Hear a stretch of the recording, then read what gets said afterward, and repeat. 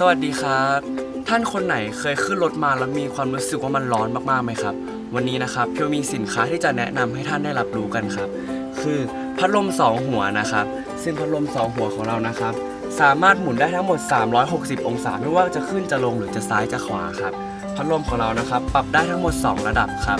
วิธีการใช้ของมันง่ายมากๆเลยนะครับ คือวางให้ถูกตำแหน่งที่ต้องที่ท่านต้องการนะครับ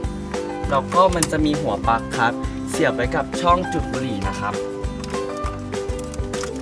พัดลมนะครับสามารถปรับได้ทั้งหมด 2 ระดับนะครับ ตามความแรงของที่ท่านต้องการนะครับ แค่นี้ก็รู้สึกเย็นสบายชื่นใจแล้วครับ